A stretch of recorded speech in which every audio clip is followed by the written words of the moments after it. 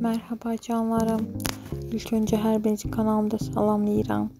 Ee, Sıla Türkoğlu'nun özel hayatıyla geldim karşınıza. Biliyorsunuz ki Sıla'm dünyalar güzeli bir kız.